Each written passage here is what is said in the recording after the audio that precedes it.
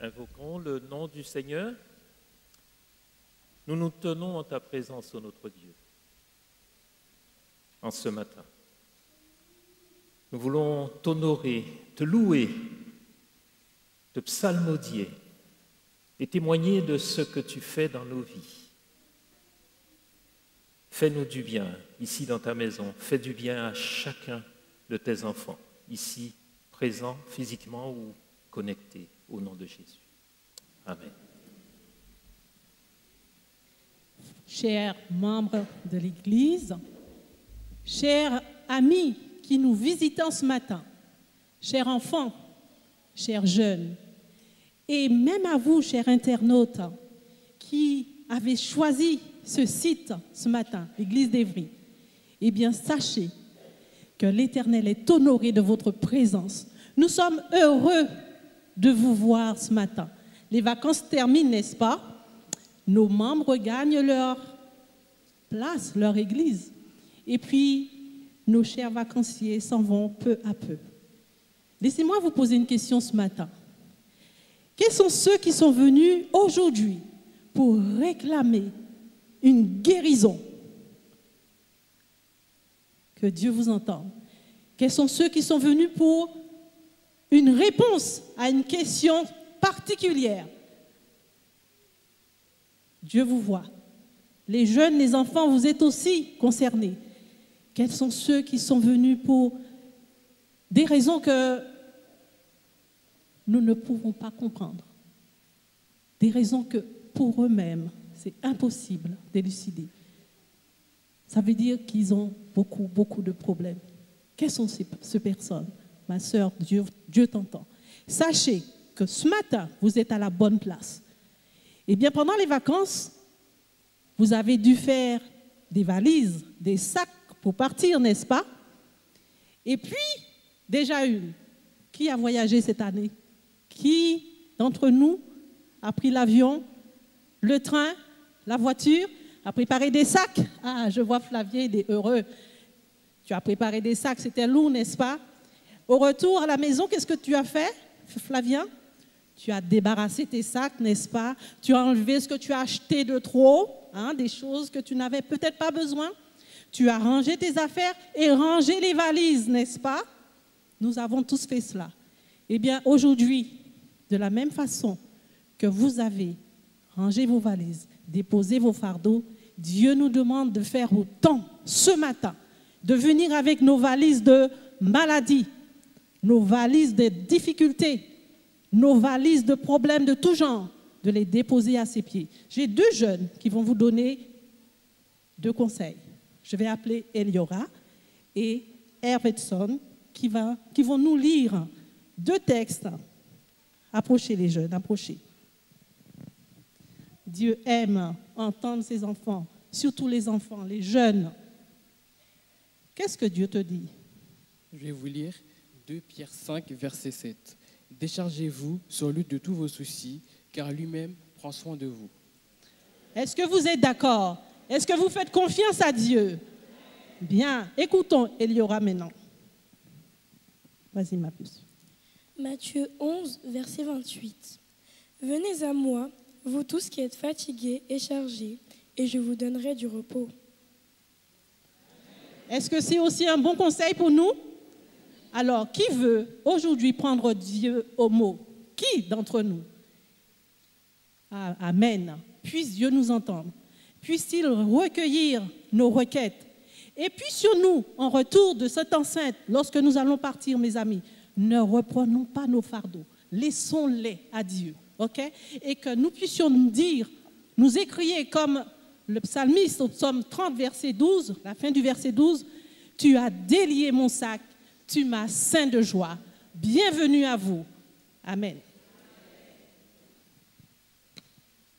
Oui, parmi nos bagages à déposer, nous avons aussi nos fautes, nos péchés. Et maintenant, nous allons participer ensemble au temps de repentance. Et nous lisons Michée chapitre 7, les versets 18 et 19. Quel Dieu est semblable à toi qui pardonne l'iniquité, qui oublie les péchés du reste de ton héritage? Il ne garde pas sa colère à toujours, car il prend plaisir à la miséricorde. Il aura encore compassion de nous. Il mettra sous ses pieds nos iniquités. Tu jetteras au fond de la mer tous leurs péchés. Amen.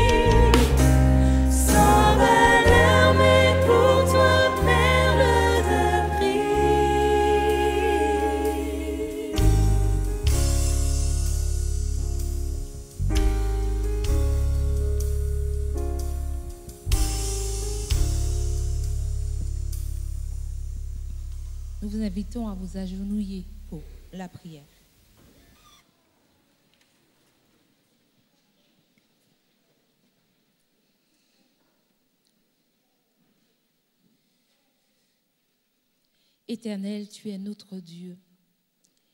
Et nous nous agenouillons devant ta majesté, devant ta grandeur.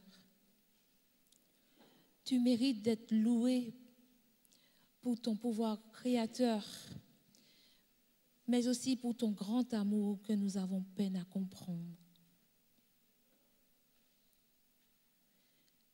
Éternel, tu es un Dieu fidèle.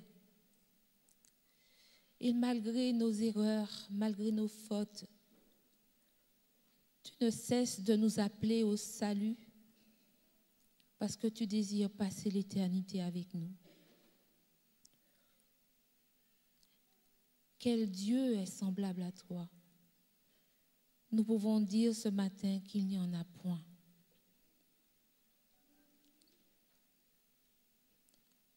Que chacun exprime en son cœur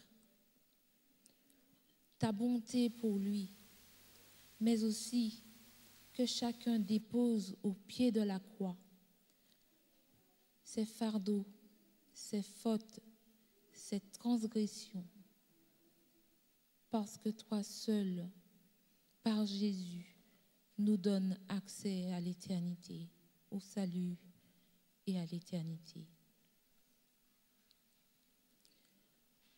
Que l'amour qui s'est manifesté à la croix touche notre cœur et nous débarrasse de tout ce qui est mauvais, de nos pensées mauvaises, de nos pensées haineuses, de notre manque d'affection les uns pour les autres et que ton nom soit glorifié dans nos vies, de sorte que ceux qui nous voient soient attirés à toi. Permets-nous d'expérimenter une vie victorieuse avec toi, parce que tu auras seul le pouvoir de nous libérer. Notre Dieu, tandis que nous sommes venus ici, chacun a exprimé son besoin devant toi, et nous te demandons d'entendre nos prières, les prières qui montent de nos cœurs, et donne-nous l'assurance que tu apporteras une réponse à chacune d'elles.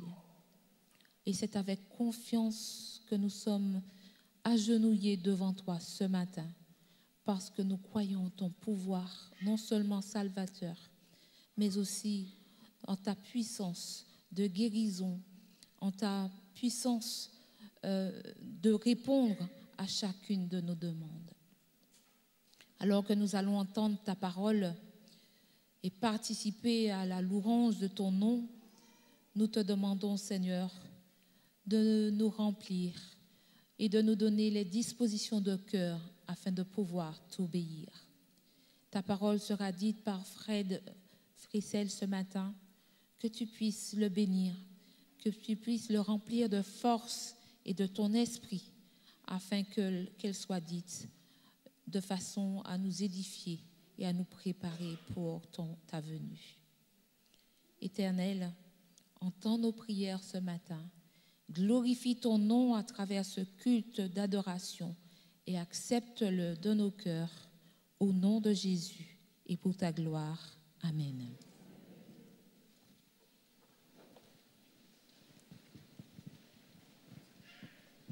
Tu veux celui-là ou l'autre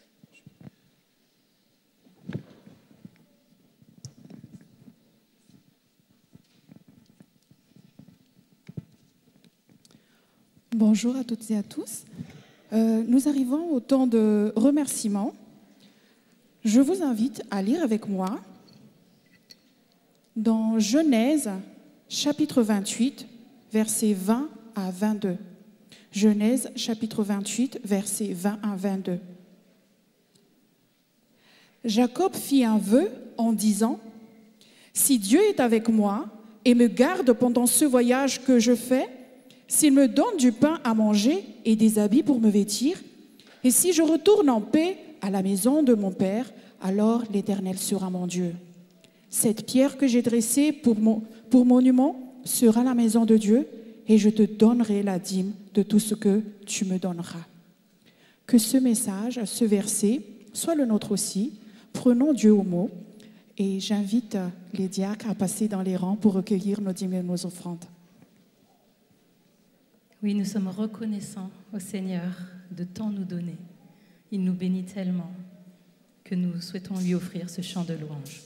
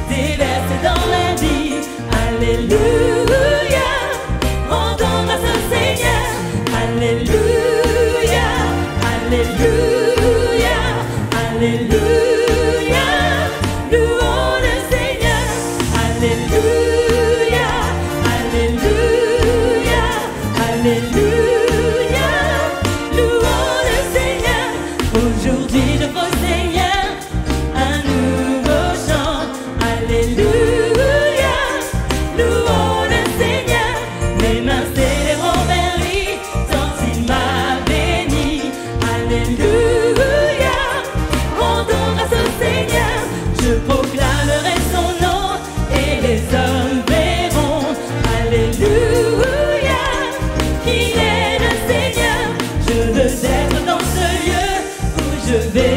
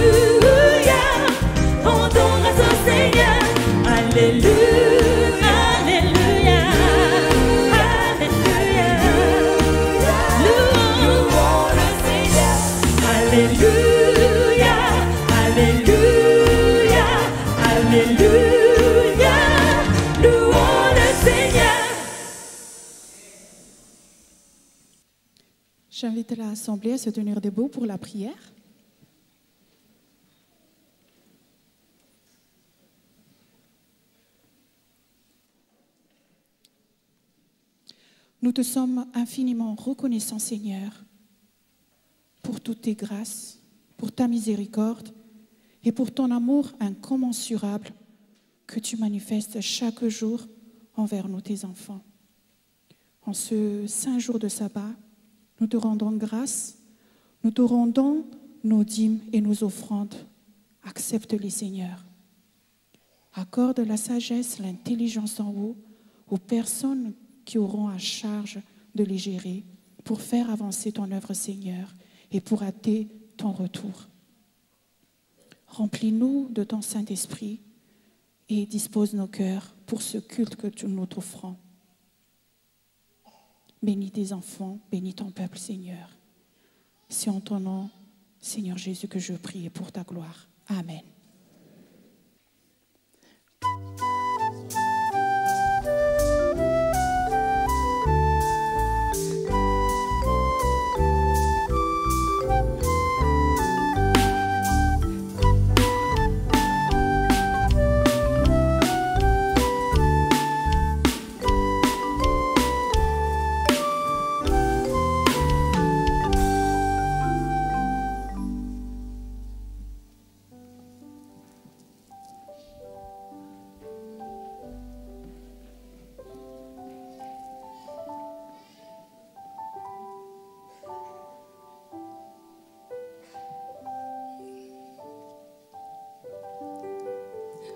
Bonjour les enfants, ça va?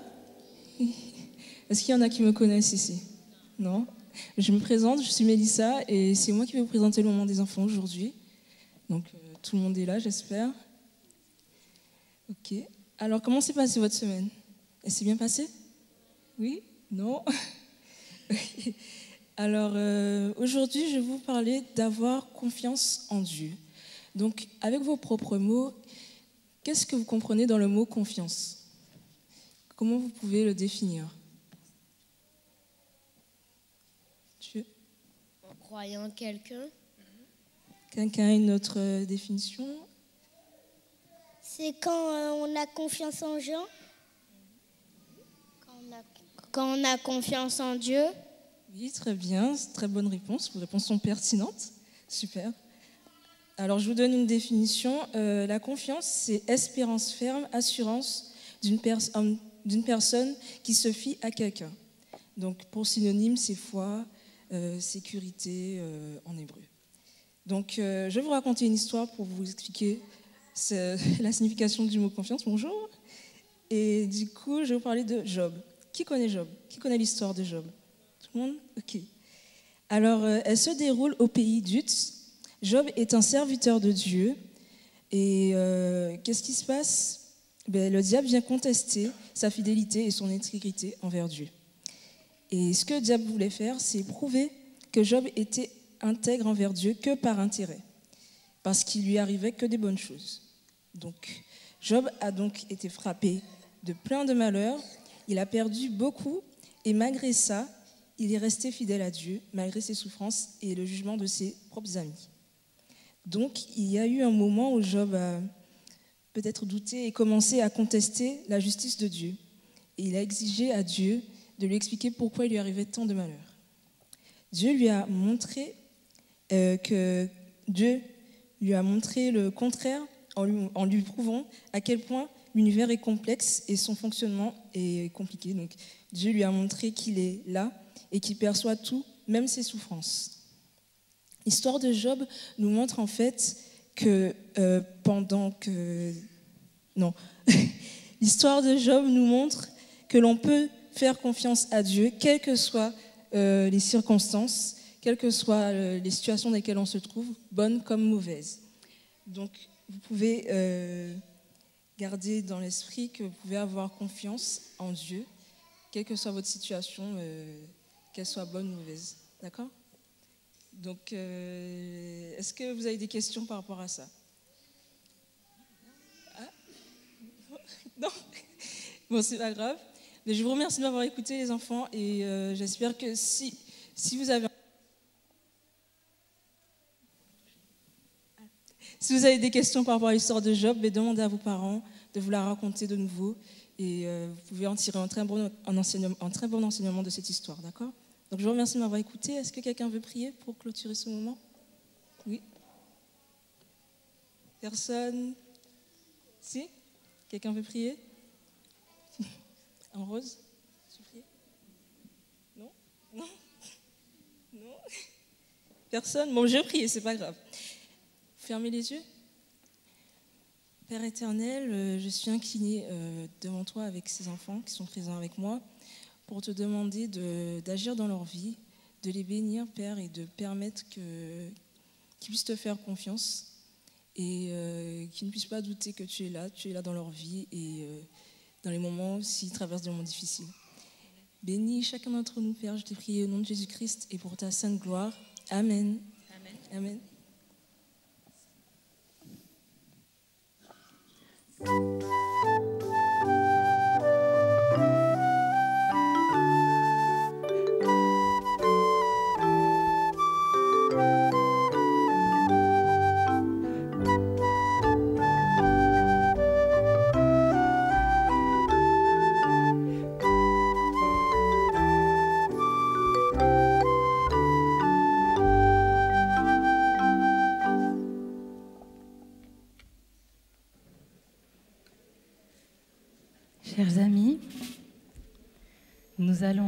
passer un temps de louange et d'adoration. Et comme Gina nous l'a si bien dit avec les enfants, hein, elle nous a fait une bienvenue de feu, n'est-ce pas? Eh bien, effectivement, chacun d'entre nous, nous avons nos valises. Nous avons nos valises, nous avons nos fardeaux. Mais ce que nous savons également, c'est que Jésus s'en charge. Amen. Voilà. La force est en Christ. Ésaïe 41, verset 10 nous dit, Ne crains rien, car je suis avec toi. Ne promène pas des regards inquiets, car je suis ton Dieu. Je te fortifie, je viens à ton secours, je te soutiens de ma droite triomphante. Alors levons-nous et chantons à ce Seigneur qui nous donne la force de continuer, qui nous donne la force, qui nous donne les solutions pour avancer. Ce grand Dieu, si bon. Et chantons-le. La force est en Christ.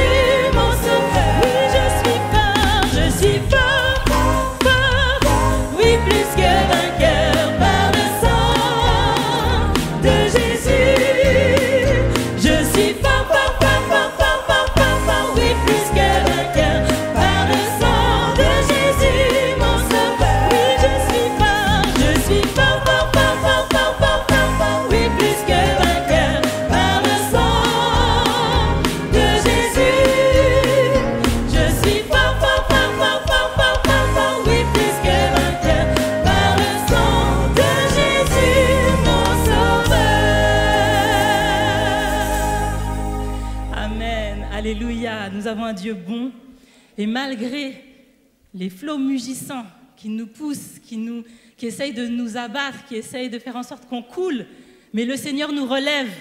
Amen. Et donc nous allons chanter flots mugissants, car c'est lui qui est à la barre.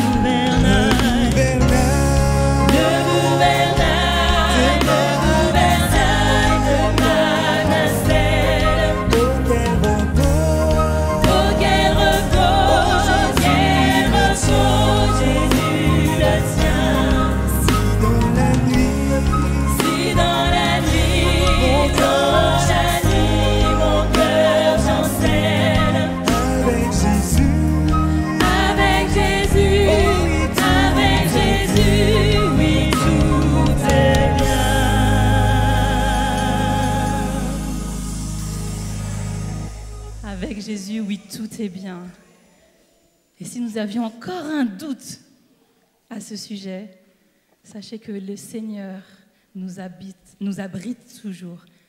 Il nous couvre de sa grâce, de sa protection. Abrite-moi.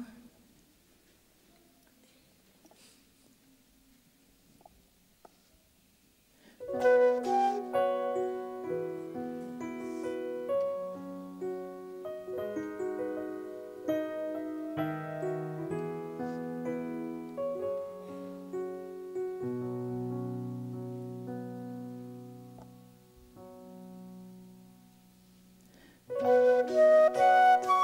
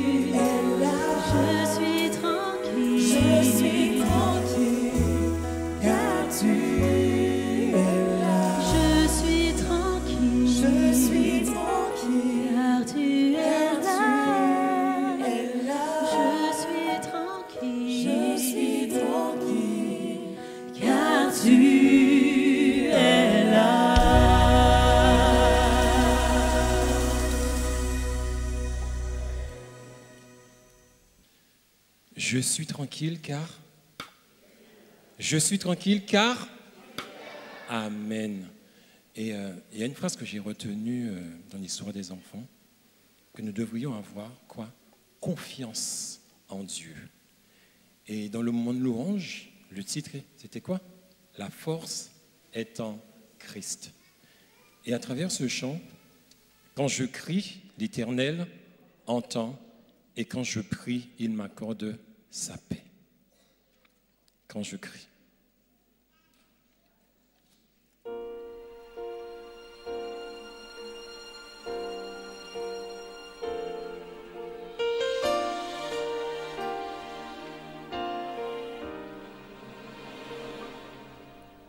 Quand j'établis la liste de toutes les choses que tu me je n'ai vraiment pas de quoi me plaindre, mais je suis perdu sans trouver le chemin. Ma vie est en miel et mon cœur s'est brisé. Mais ton cœur, je le sais, c'est lui aussi brisé. Quand je crie, tu viens. Quand je pleure, tu es là. Quand je tombe, tu tombes. La main de ton grand amour. Quand je suis à genoux, tu me donnes ta paix et tu calmes ma peur. Quand je n'ai personne qui peut m'aider.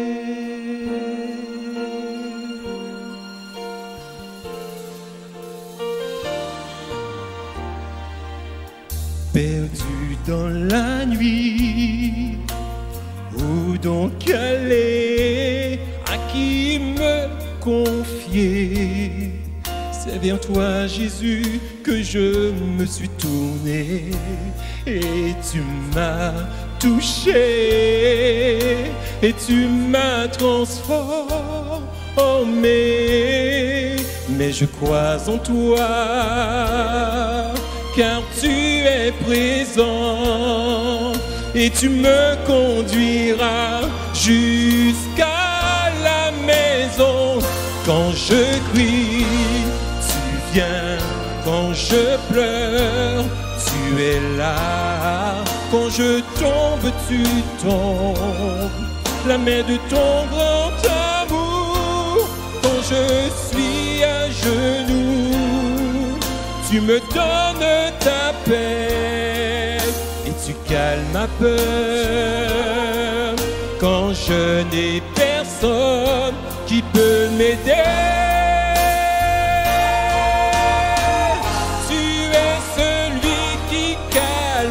Calme la tempête,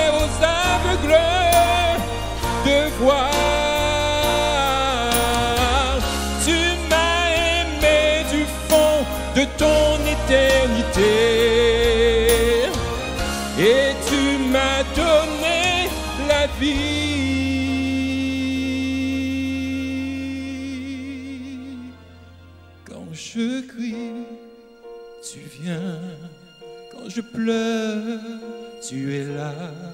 Quand je tombe, tu tombes.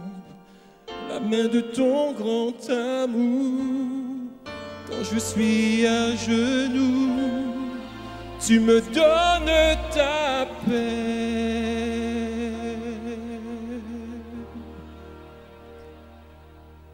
Et tu calmes ma peur quand je n'ai personne,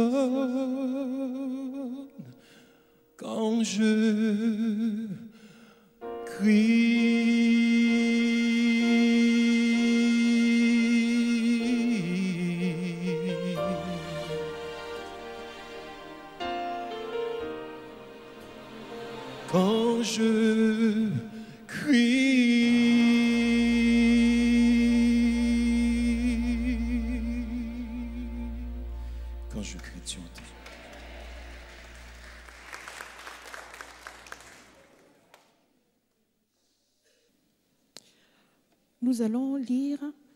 Le verset dans, chapitre, dans Actes, chapitre 27, verset 25. Actes, chapitre 27, verset 25. C'est pourquoi, ô hommes, rassurez-vous, car j'ai cette confiance en Dieu qu'il en sera comme il m'a été dit. Amen. Vous pouvez vous asseoir.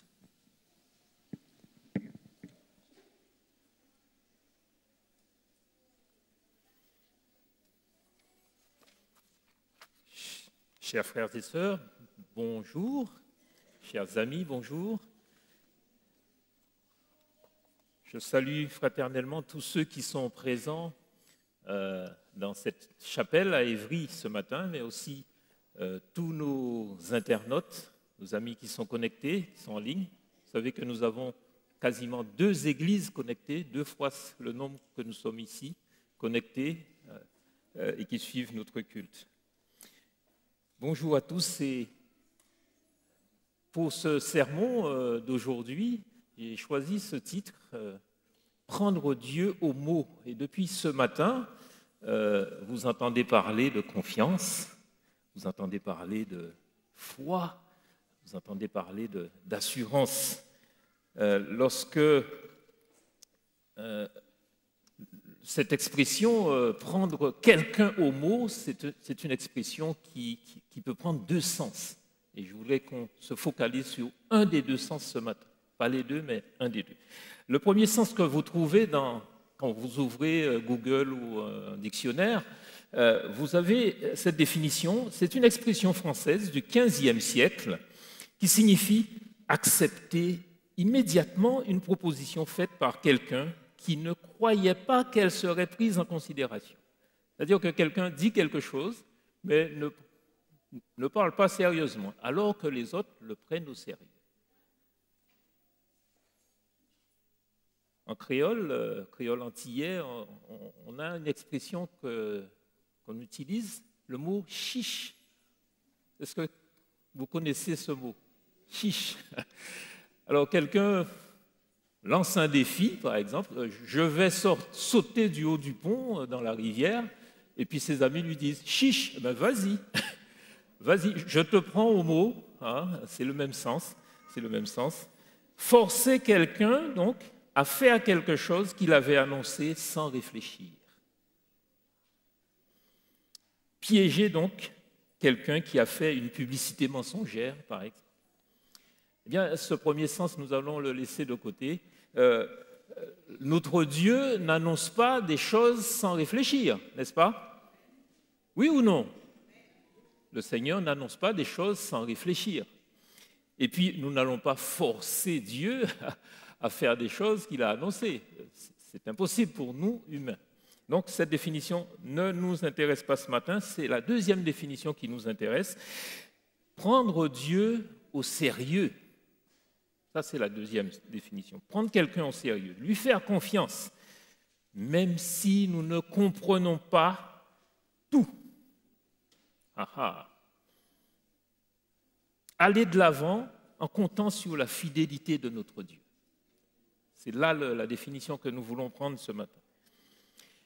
Avec notre cerveau limité, nous, nous ne comprenons pas toujours complètement la volonté de Dieu, la stratégie de Dieu. Et pourtant, nous sommes appelés à lui faire confiance, sans tout comprendre. Dans le texte du jour que Assina nous a lu il y a quelques instants, je vous invite à ouvrir votre Bible dans Actes chapitre 27. Euh, L'apôtre Paul fait une déclaration étonnante. Étonnante. Le contexte euh, de ce- cette déclaration est celui-ci. Paul est prisonnier, donc, et euh, il est en route vers Rome, puisqu'il a demandé à parler à l'empereur César. Et donc, il fait ce voyage par bateau. Il est accompagné de 276 personnes sur un, un esquif- enfin, un bateau, et ils sont pris par- dans- au milieu d'une tempête. Et si je remonte au verset 20, euh, 22 hein, de ce chapitre 27 que vous suivez avec moi, je ne sais pas si ce sera affiché, mais nous allons de l'avant. Euh, Paul fait cette déclaration au milieu de la tempête. Maintenant, je vous exhorte à prendre courage, car aucun de vous ne périra, et il n'y aura de perte que celle du navire. Verset 23, un ange du Dieu à qui j'appartiens et que je sers m'est apparu cette nuit et m'a dit, Paul, ne crains point, il faut que tu comparaisses devant César. Et voici, Dieu t'a donné tous ceux qui naviguent avec toi. Et fort de cette, euh, déclaration de l'ange, de l'ange de Dieu, Paul peut affirmer au verset 25, C'est pourquoi, ô homme, rassurez-vous, car j'ai cette confiance en Dieu qu'il en sera comme il m'a été dit. Paul a confiance dans la parole que Dieu lui a révélée durant la nuit et il, va transmettre cette confiance aux hommes qui l'accompagnent dans le bateau. J'aimerais, j'aimerais que ce midi, vous ressortiez de cette chapelle, que vous ressortiez, quand vous, vous éteindrez votre, votre connexion, que vous ayez confiance en Dieu, que vous ayez cette même confiance que Paul affirme ici. J'ai l'assurance que celui qui a parlé, il réalisera ce qu'il a parlé, ce qu'il a dit. Voilà, c'est ça l'affirmation de Paul. Ce culte se veut un culte de témoignage. Nous aurons tout à l'heure quelques témoignages ici à Évry euh, de personnes qui se sont proposées, mais j'aimerais faire un appel maintenant aux internautes et leur demander s'ils le veulent et si l'Esprit de Dieu les inspire, euh, d'envoyer un petit message en deux phrases qui résument leur expérience avec Dieu. Euh, d'essayer de répondre à cette question, que s'est-il passé quand vous avez pris Dieu au sérieux? Plusieurs fois dans notre vie, nous, sommes appelés à prendre Dieu au sérieux, à prendre Dieu au mot, à faire confiance à Dieu, à, à Dieu à travers ses promesses. Et il se passe quelque chose, il se passe des miracles. Je sais qu'il y en a plusieurs parmi nous ici qui, ont déjà vécu ces expériences et moi-même, euh, je, les ai vécues aussi. Alors, euh, chers internautes, vous pouvez écrire. Nous prendrons à la fin de ce sermon quelques-uns de vos témoignages que nous partagerons avec tous. Nous avons du mal, n'est-ce pas, à mettre notre confiance dans ce qui dépasse notre entendement, dans ce qui ne se voit pas encore, ce que Dieu promet, mais on n'a pas encore vu la réalisation, euh, dans ce qui ne peut pas se démontrer euh, au tableau. Hein. Nous avons du mal à, mettre notre confiance. Nous avons du mal à adhérer à ce qui n'est pas évident, ce qui, ce qui n'est pas palpable. Certaines personnes euh, se posent des questions du genre est-ce que la solution de Dieu me conviendra? Voilà, j'ai demandé à Dieu euh, de me permettre de trouver un conjoint, mais est-ce que celui qu'il va me proposer va me convenir? Et, le doute s'installe hein, petit à petit hein, dans la tête, et ces mêmes personnes finissent par conclure je suis la personne la mieux placée pour m'occuper de mon problème. Et donc ils reprennent la main et ils s'occupent tout seuls de leur problème. Ben, je voudrais que ce soit l'inverse qui se produise dans vos cœurs ce matin, que vous ayez complètement confiance en Dieu des choses que vous lui avez réclamées et qu'il vous a promis. D'autres personnes se disent en découvrant certaines promesses de Dieu, mais c'est trop beau pour être vrai. C'est trop beau pour être vrai.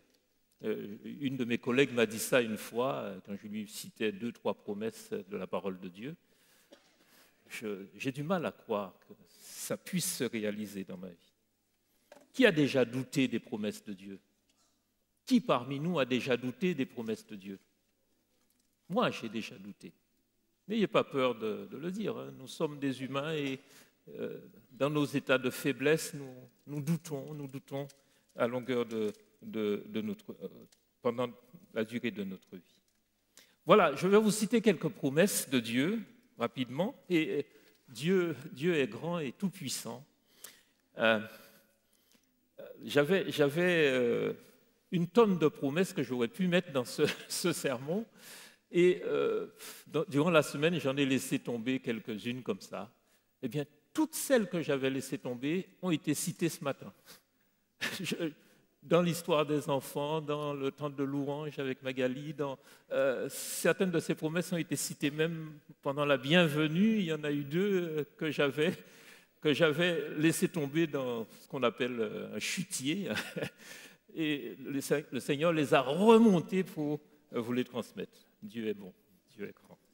Amen, amen. Alors je vais vous en citer quelques-unes. Et si cette promesse vous parle, vous dites Amen, gloire à Dieu. Alors voilà, Matthieu 6, verset 33. Cherchez premièrement le royaume et la justice de Dieu, et toutes choses, toutes ces choses vous seront données par-dessus. Amen, amen. Alors il y a des promesses dans la Bible qui sont conditionnelles. Là, c'est une promesse conditionnelle. hein. Il faut euh, choisir de- le royaume de Dieu, et après tout le reste suit. Autre promesse conditionnelle, Matthieu 18, verset 20, Là où deux ou trois sont assemblés en mon nom, je suis au milieu d'eux. Amen. Vous l'avez vérifié cela? Oui, oui, oui. Alors je me demande pourquoi euh, dans nos réunions de prière, on est deux ou trois seulement. On devrait être euh, 250. Hein Alors, alors venez, rassemblons-nous pour prier euh, le mardi soir, le lundi midi. euh, les rendez-vous vous ont été rappelés pendant les annonces tout à l'heure. Le vendredi soir à la chambre haute. Et euh, euh, vous verrez que cette promesse-là s'accomplit. Euh, De toute façon, lorsque deux personnes, deux ou trois personnes ou plusieurs personnes se réunissent au nom de Jésus-Christ. Alors une petite dernière euh, euh, conditionnelle. Conditionnel, Apocalypse 3, verset 21. Celui qui vaincra, je le ferai asseoir avec moi sur mon trône. Celui qui vaincra, je le ferai asseoir avec moi sur mon trône. Alors, il y a des petits amens timides, parce que peut-être que vous ne l'avez pas encore expérimenté, vous n'êtes pas assis sur le trône de Jésus. Oui? Non? Mais euh, c'est une promesse qui va se tenir, mais il faut vaincre avec le Christ aujourd'hui. Il faut vaincre avec Christ aujourd'hui. Alors, une dernière euh, conditionnelle. Alors, il y en a plein, il y en a plein. Euh, Romains 8, verset 28. Toutes choses concourent ensemble au bien de ceux qui aiment Dieu. Amen. Même les choses qui nous, qui nous paraissent euh, gênantes. euh, pourquoi pourquoi j'ai une crevaison là, euh, alors que je voulais être à l'heure au rendez-vous? Ben, Nous nous rendons compte après coup que Dieu avait tout prévu, n'est-ce pas? Amen, amen, amen. Il y a des promesses qui sont inconditionnelles, c'est-à-dire que même si vous ne faites rien, elles s'accompliront. D'accord? Alors une première, Apocalypse 21, verset 4. Il essuiera toute larme de nos yeux, et la mort ne sera plus. Il n'y aura plus ni deuil, ni cri, ni douleur, car les premières choses auront disparu. Ça, ça, ça s'accomplira, quel que soit le choix que nous faisons aujourd'hui. Le Seigneur va éradiquer le péché de, notre monde et fera que euh, cela s'accomplisse. Bon, j'hésite à toutes vous les donner, mais euh, je, vais vous citer euh, Apocalypse, euh, non, Psaume 34, versets 19 et 20. L'Éternel est près de ceux qui ont le cœur brisé, et il sauve ceux qui ont l'esprit dans l'abattement. Le malheur atteint souvent le juste, mais l'Éternel en délivre toujours. Amen. Oui, Amen. Cela, c'est une promesse que Dieu accomplit fidèlement dans la vie de chacun de nous. Et euh, enfin, Apocalypse 22, verset 20, J'en- ai sauté plusieurs, hein, parce que le temps presse. Euh, certainement, certainement, oui, Amen, je viens bientôt. Voilà une promesse que Dieu, Jésus nous a faite. C'est un des derniers versets de la Bible. Je viens bientôt. Amen. Amen. Cela nous engage à nous préparer pour ce retour. Faisons confiance à Dieu Faisons-lui confiance même si nous ne comprenons pas tout, même si ce qu'il nous demande est parfois difficile. Parfois, lorsque Dieu nous demande quelque chose, nous sommes obligés d'abandonner certaines choses dans notre vie. Nous sommes obligés de rompre parfois une relation. Nous sommes obligés d'arrêter quelque chose qui nous faisait beaucoup de plaisir, les plaisirs de la chair. Examinons maintenant l'expérience des douze espions, rapidement. hein. Euh, l'expérience des douze espions que Moïse a envoyés à Canaan.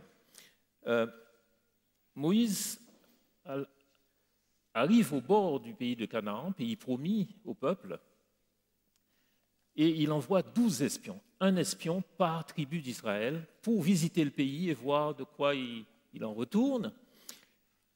Et euh, 40 jours après, les espions reviennent euh, faire leur rapport. Alors, dans ce groupe de 12 espions, il se trouve qu'il y a deux rapports, deux rapports vraiment contradictoires. Dans le chapitre 13 des Nombres, euh, il y a 10 espions qui disent ceci. Nous ne pouvons pas monter contre ce peuple car il est plus fort que nous. Ça, ce sont le groupe de 10 espions qui disent ça. Nombre chapitre 13. Notez ces chapitres, vous les lirez euh, euh, tranquillement à la maison. Et puis il y a deux espions, Caleb et Josué, euh, qui disent ceci.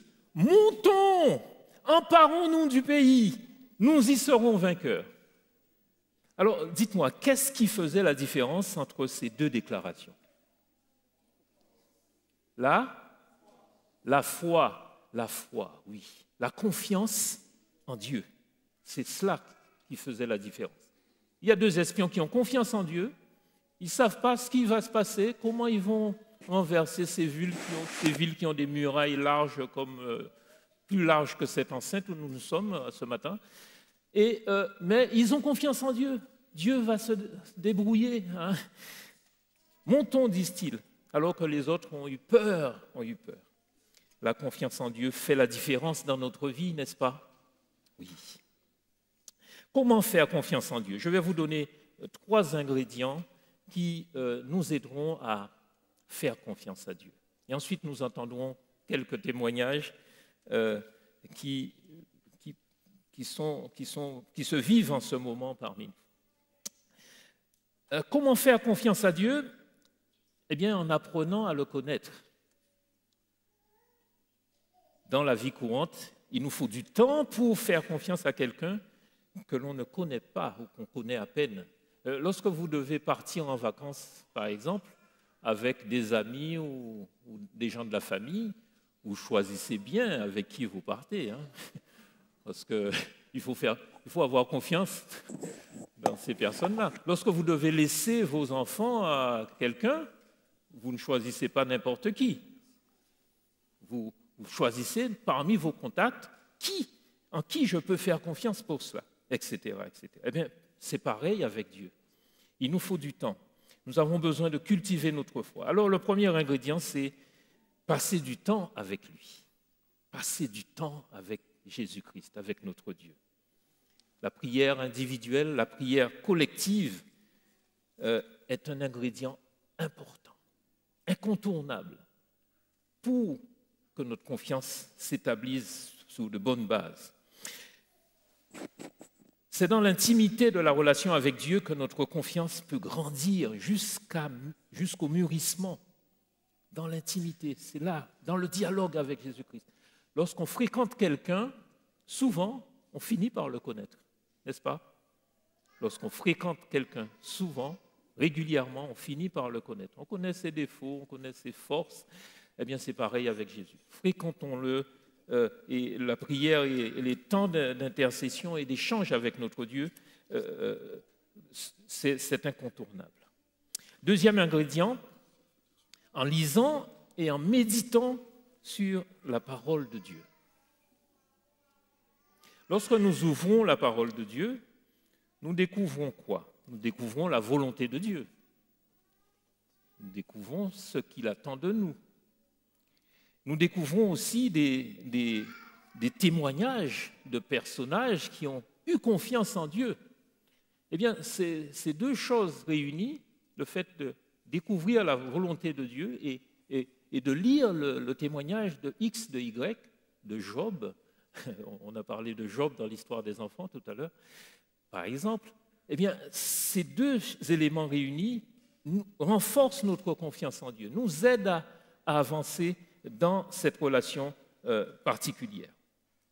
Nous découvrons euh, dans la parole ce que Dieu a fait dans le passé, nous découvrons ce qu'il fait aujourd'hui pour nous, et nous découvrons aussi ce qu'il fera dans l'avenir.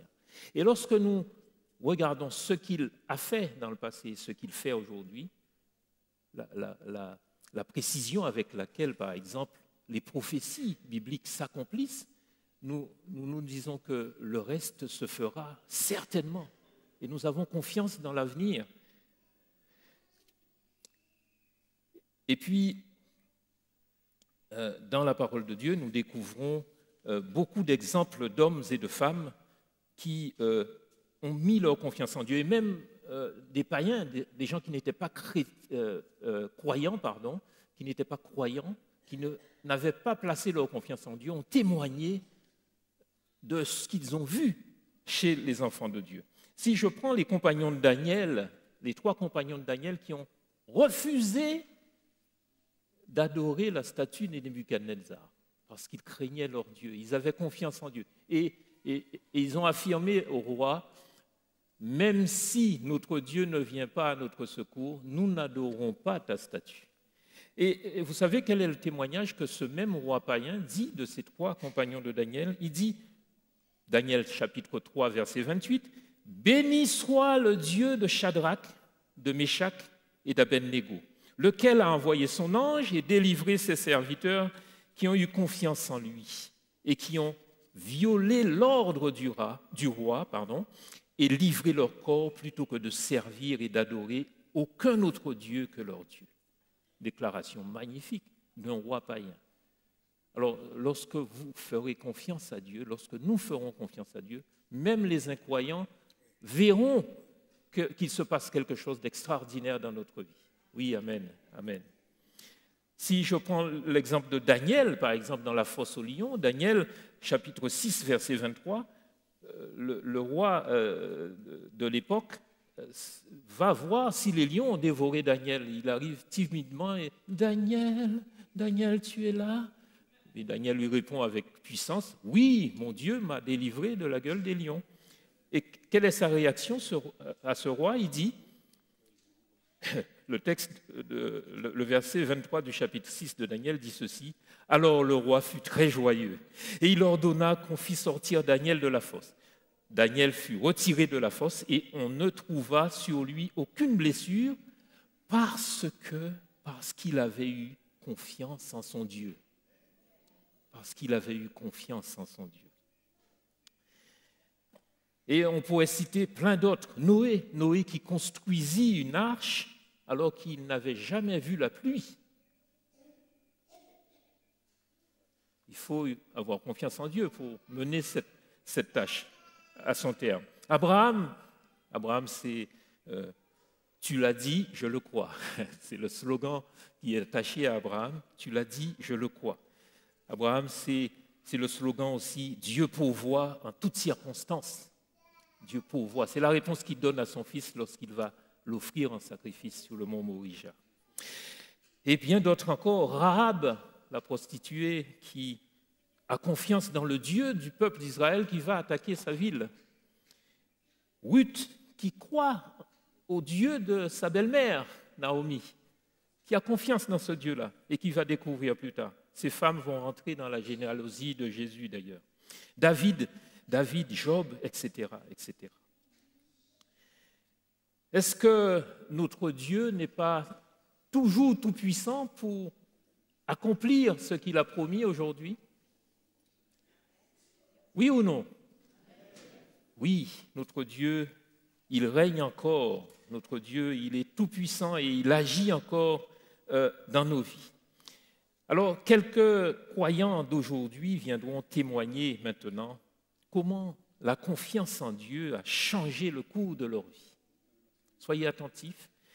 Euh, et je renouvelle l'invitation aux internautes qui voudraient envoyer un petit message. Nous n'aurons pas le temps de tout lire, mais nous passerons quelques messages tout à l'heure à la fin du culte. Euh, je, vais, appeler Linda.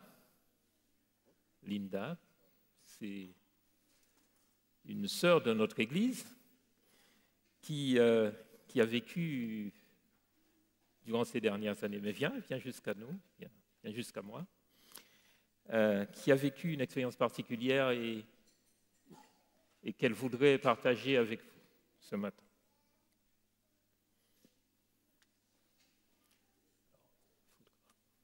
On va lui prendre un micro.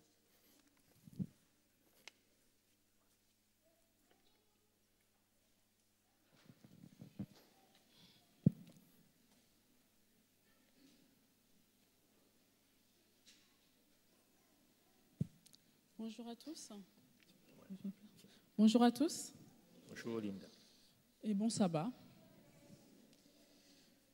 Je vais vous rencontrer, je vais vous rencontrer ma, ma petite histoire, mon témoignage. Il y a quelques années, je me sentais pas bien du tout. J'étais très très très malade. J'avais l'impression comme quoi euh, tout me tombait sur la tête. Tout était sombre. Et euh, j'étais tellement dégoûtée de la vie. J'avais euh, perdu du poids. Je ne dormais pas. J'étais très malade. Et j'aime pas trop le dire, mais j'ai fait une grosse dépression. Un jour, j'étais très mal. J'étais seule dans mon lit, j'ai pleuré. Et je vous dis ça, sachant que j'étais seule avec mes trois enfants. Et euh, je me suis dit, qu'est-ce que je dois faire? Et j'ai eu la présence d'esprit d'appeler une amie que je connaissais avant, mais je ne la connaissais pas euh, dans l'église. Je l'ai connue ailleurs, il y a bien avant. Et je l'ai appelée cette sœur. Et euh, j'ai eu beaucoup de chance ce jour-là parce qu'elle m'a répondu. Et euh, je lui ai dit, je me sens très mal, très mal. Et elle m'a dit, OK, donne-moi l'adresse, j'arrive. Et ce jour-là, elle est venue. Elle n'est pas venue seule. Elle est venue avec euh, des frères et sœurs de l'Église, avec l'ancien de l'Église aussi. Et euh, donc, euh, je me suis préparée, elles sont venues. Et ils ont prié pour moi. Ils ont prié, on a prié ensemble. Et je me souviens, juste après leur passage, je me suis sentie bien. Je me suis sentie très bien, à tel point que dans la semaine, je me suis dit, pourquoi pas aller voir là où est pris cette sœur. Et euh, le sabbat d'après, je suis venue ici à l'église. Et euh, je me souviens, je suis arrivée, j'étais toujours mal. Et euh, quand je suis arrivée, je me, je me souviens, c'était ici, les anciens de l'église et le pasteur ont prié pour moi. Et euh, depuis ce jour, je n'ai pas quitté l'église. Je viens toujours à l'église. Et euh, ensuite, l'ancien de l'église a mis en place euh, des séances de prière tous les soirs. Au téléphone, on priait et ça durait un an et demi. J'ai bien dit un an et demi. On a prié, prié, prié ensemble. Des fois, je sortais du travail, j'étais fatiguée, mais c'était un rendez-vous euh, tous les soirs qu'on devait prier. Et à force, je, pre- je prenais même du plaisir à, prier. Et, euh, et à force, je prenais confiance en moi et tout. Et ensuite, j'ai décidé ensuite même de me présenter au baptême. Donc j'ai j'ai fait mon baptême et tout. Ça s'est bien passé. Mais, excusez-moi.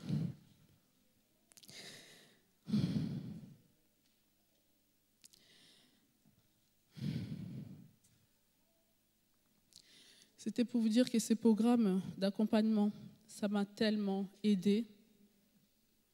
J'ai appris à faire confiance à Dieu. J'ai appris à, me, à me rapprocher de lui. J'ai appris aussi à prier parce que c'était euh, compliqué pour moi de prier. Et à force, je me sentais mieux. Aujourd'hui, je peux vous confirmer que je suis une nouvelle femme. Je suis pleine de vie, comme avant, avant ma maladie. Et euh, tout simplement parce que je fais confiance à Dieu. J'ai été fidèle à Dieu. Et euh, je vous demande aussi, euh, mes frères et sœurs, de faire de même. Euh,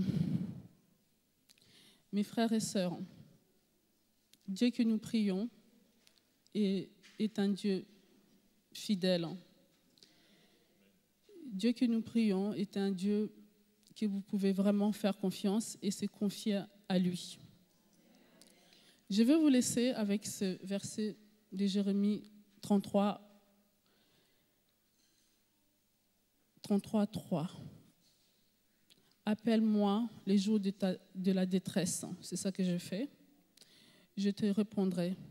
Je t'annoncerai les grandes choses, des choses cachées que tu ne connais pas. Amen. Amen. Merci. Et bon sabbat à tous.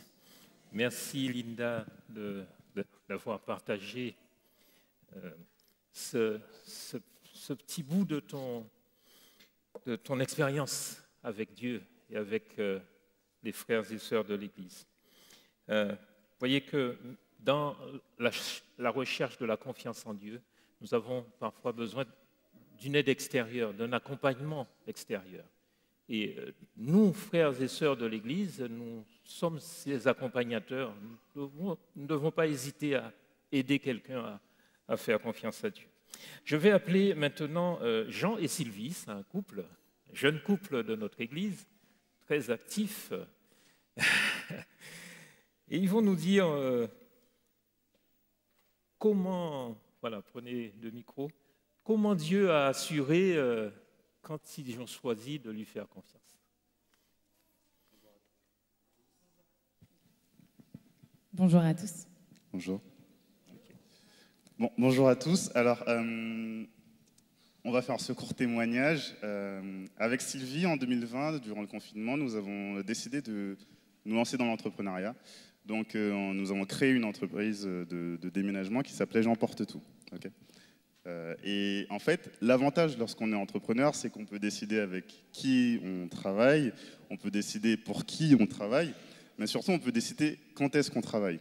Et euh, vous le savez, en tant que, chrétien adventiste, je parle peut-être un peu trop vite. Non Ok.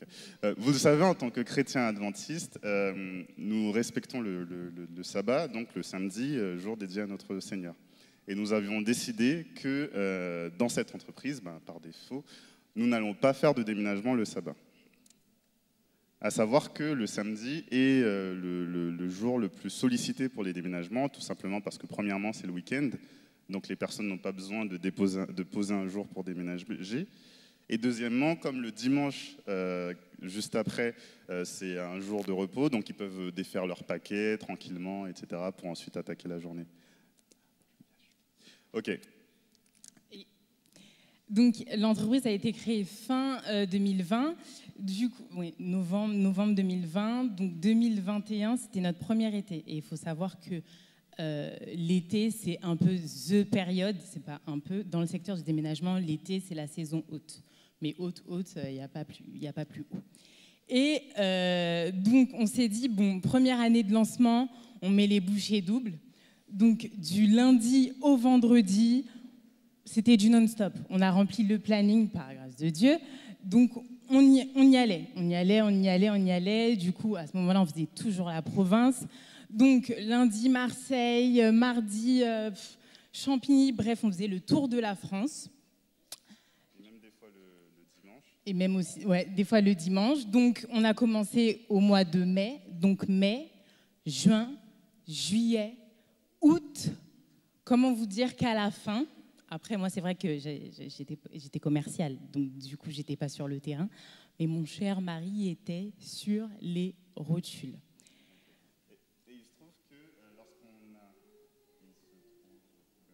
Il se trouve. Il se trouve que lorsqu'on a, décidé de ne pas travailler les, les samedis, on s'était aussi dit on ne va pas travailler les vendredis après-midi. Parce que les vendredis après-midi, on voulait rentrer euh, tranquillement dans le sabbat, etc. Mais on s'est dit on va quand même travailler le vendredi matin.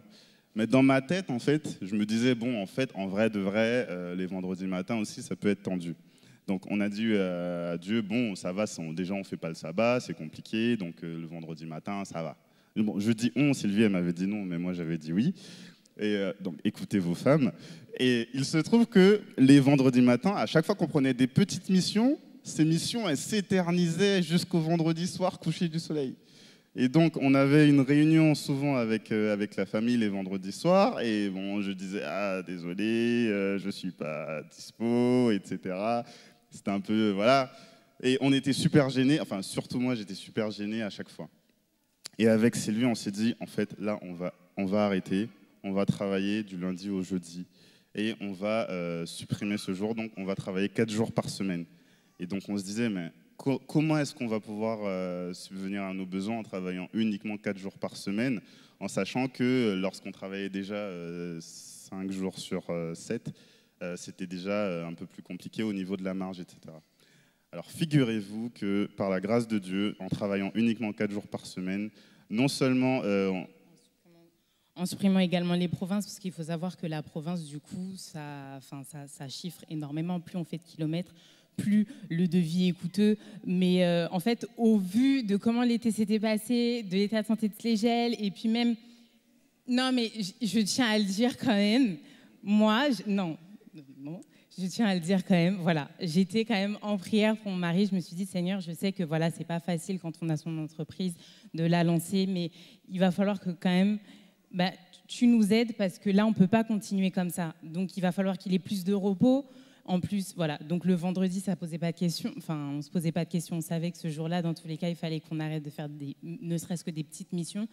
Il fallait que voilà, ce soit quatre jours pour avoir trois jours de repos et d'arrêter aussi euh, la province. Donc, en fait, quand on a entamé euh, bah, cet été, avec l'accord qu'on avait fait avec Dieu, on s'est dit bon, Seigneur, on travaille moins. En plus, on va plus très très loin. Donc, euh, Seigneur, donne-nous quand même des contrats parce qu'on veut quand même réussir euh, cet été. Et ben, figurez-vous que suspense. on l'a réussi. Donc voilà, gloire à Dieu pour ça, parce que vraiment, on a fait confiance à Dieu, on a décidé de mettre son sabbat en premier lieu, parce que le but du témoignage, c'était le sabbat. Et, euh, et- et bien sûr, ça nous a fait du bien aussi dans, dans- dans notre santé, euh, et dans ma santé. Et voilà. Donc voilà, Et je voulais rajouter que par rapport à la province, non mais c'était vraiment fou parce que, euh, comme par hasard, enfin comme par hasard, on, on habite, on habite à Melun et euh, tout Melun a décidé de, de déménager cet été. Donc en fait, on avait plein de petits entre guillemets parce que au final, on a déménagé des immeubles, des villas, enfin choses qu'on avait, enfin on a eu des contrats qu'on savait qui venaient en fait directement de Dieu. C'était pas, c'était pas possible autrement. Donc voilà. Gloire à Dieu, faites-lui confiance. Merci, merci à Jean et Sylvie. Vous voyez que nous pouvons faire confiance à Dieu dans, tous les domaines de notre vie, domaine professionnel, domaine relationnel, etc. Et euh, soyez bénis et continuez à, faire confiance à notre Dieu. Euh, je vais appeler Morgane. Morgane euh, est juste là, vient vers nous. Alors, ce micro-là ne, ne fonctionne pas bien.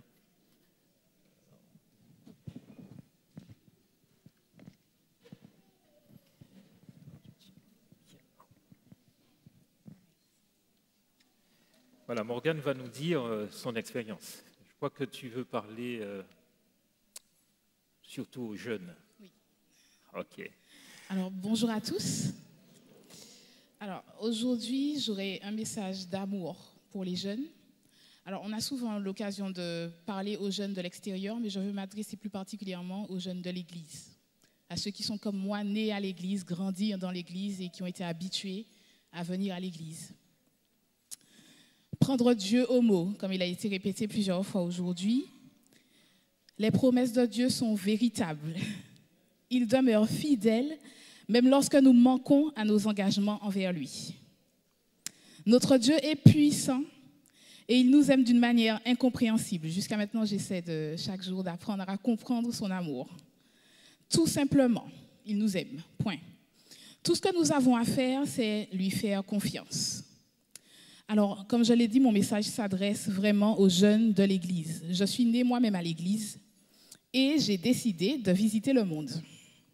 L'herbe semblait plus verte ailleurs, et puis je connaissais l'existence de Dieu sans pour autant chercher à le connaître. Donc j'allais à l'église le sabbat, mais euh, vigile matinale, je lisais pour aller au club, mais sinon pas d'études, euh, pas d'exploration de la Bible et pas d'expérience particulière avec Dieu.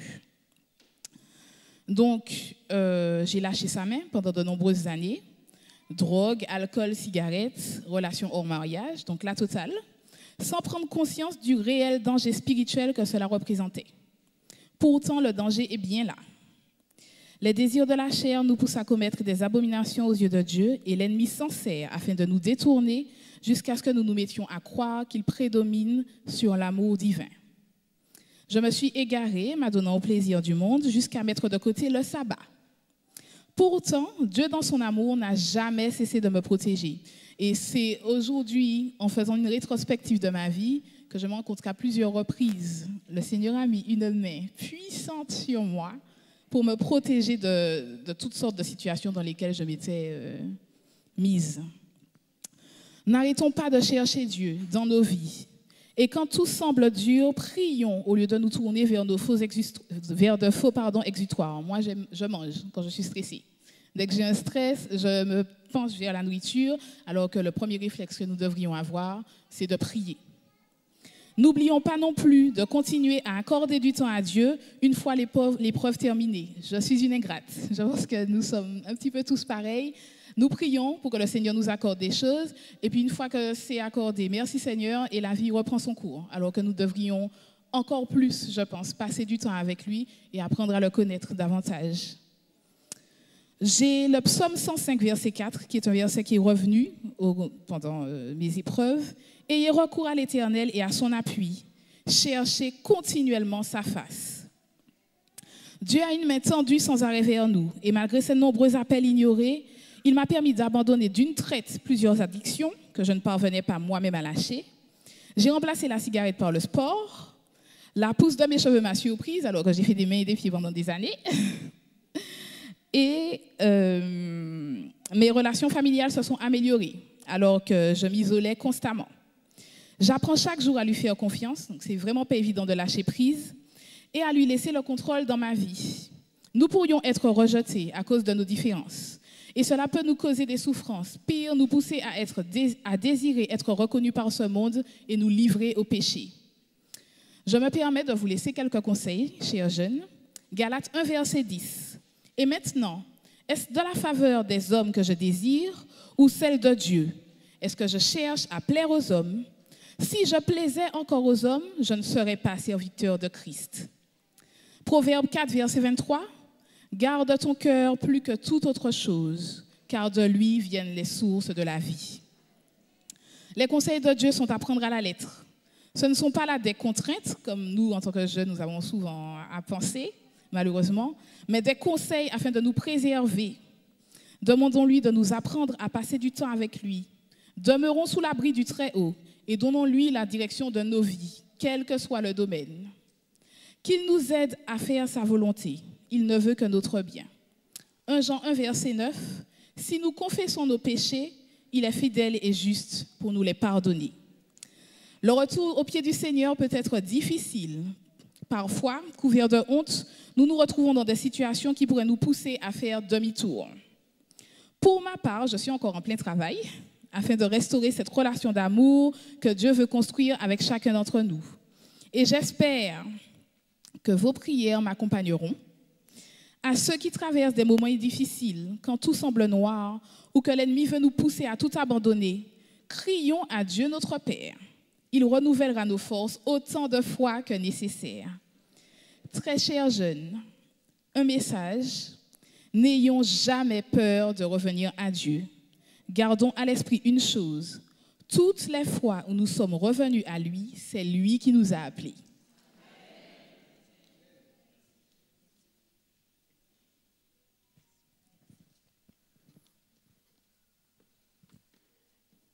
Merci Morgane pour ce vibrant témoignage. C'est un, une expérience qui est en cours, vous l'avez compris. Elle n'est pas terminée. Et je vous invite à penser à prier pour Morgane euh, dans les jours qui viennent. Alors, moi, j'ai un problème. Il est midi 25 passé.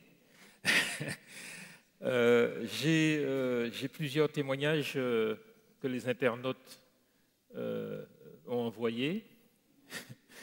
Et euh, je me sens poussé aussi à demander à l'Assemblée s'il y a quelqu'un qui veut dire quelque chose en deux phrases, euh, témoigner de ce que. Voilà, rapidement, vous comprenez que le temps est pressé, mais l'Esprit me dit de proposer cela à l'Assemblée. Alors, Jonathan, tu, tu, peux venir. Et ensuite, je vous dirai quelques, quelques témoignages des internautes. Un micro pour Jonathan. Bonjour à toutes et à tous. Euh, la semaine dernière, j'ai eu l'occasion de prêcher à Évry et je vous ai parlé de puissance en cascade. Ce n'était pas des blagues. C'est très sérieux. Cette semaine, euh, j'ai dû avoir affaire sur le plan professionnel à des contraintes de travail qui étaient tout simplement, c'était impossible. Je me suis retrouvé avec une journée de travail qui était impossible à faire. Je ne pouvais pas faire cette journée de travail comme on me demandait de la faire et dans le temps on me demandait de la faire. Ce n'était pas possible. Et j'ai angoissé toute la semaine à l'idée de la journée ben, hier qui arrivait. Je me dis, Seigneur, ce sera impossible à faire. Je ne peux pas faire cette journée. Elle n'est pas faisable. Et pourtant, j'ai prêché ici samedi. Alors, le Seigneur m'a demandé de me prêcher à moi-même. Prêche-toi à toi-même. Tu as prêché que la Bible, c'est la vérité. Alors, je me suis appliqué le protocole de la Bible. L'apôtre Paul dit, je suis capable de tout par la puissance de celui qui me rend fort. Et quand il dit ça, ce n'est pas uniquement sur le plan de la vertu spirituelle. Si dans la vie, il y a quelque chose d'impossible qui vous est imposé, alors la Bible dit, vous êtes capable de le faire par la puissance de celui qui vous rend fort. L'Éternel m'a permis de finir cette journée. J'ai vu tous mes patients, j'ai fait tous les soins, j'ai même fait du rab. J'ai fait plus que ce qui m'était demandé et j'ai fini la journée. Et j'étais obligé de reconnaître que c'est par la puissance de Dieu que j'ai réussi à finir cette journée de travail qui était en fait impossible à faire. Donc je tiens à nous encourager. Ce qui est prêché ici le samedi, la Bible ouverte, c'est la vérité. Appuyons-nous sur la parole de Dieu.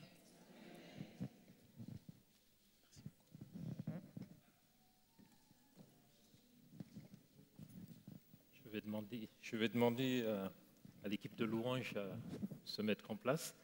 Pendant que je vous lis quelques témoignages qui nous sont parvenus, je ne peux pas tout lire, mais j'en prends à la volée comme ça. Euh, Jean-Michel nous dit ceci, lorsque j'ai pris Dieu au sérieux, j'ai eu mon bac en 2012, un travail en 2018 et le mariage en 2022. Extraordinaire. Euh, il y a quelqu'un qui nous dit Bonjour, j'ai eu un accident de voiture. C'est un anglophone. Euh, ma famille m'a rejeté. J'étais sans abri, mais Dieu m'a redonné la santé et une nouvelle espérance. Joël nous dit ceci Oui, Amen. Quand je laisse Dieu agir, il me répond. Forcément, c'est un Dieu qui s'inquiète de mes besoins. J'ai confiance et il est au contrôle, il est aux commandes. Amen. Amen. Nivana euh, affirme ceci. Je suis haïtienne, j'ai été malade, j'ai mis ma confiance en Dieu, même si parfois j'ai faibli, il m'a guéri. J'aime ce message. Bon sabbat. Et Titou, non, Christelle, pardon. Christelle dit J'ai été suspendue en 2021, en novembre 2021. Dieu m'a toujours accordé sa paix. Et en avril 2022, donc quatre mois, euh, cinq mois après, j'ai trouvé un emploi mieux que celui que j'avais avant. Amen. Et un petit dernier, un petit dernier, euh, de la part de Roland, qui dit Je fais pleinement confiance à Dieu, car il n'est pas un homme pour mentir. Je crois fermement en sa parole et je le ferai jusqu'à la mort. Amen. Amen. Chers frères et sœurs, chers amis, puissions-nous faire confiance à Dieu et tout remettre entre ses mains. Choisissons de placer tous les domaines de notre vie entre les mains de, notre Dieu. C'est là ma prière pour vous et pour moi aujourd'hui. Amen.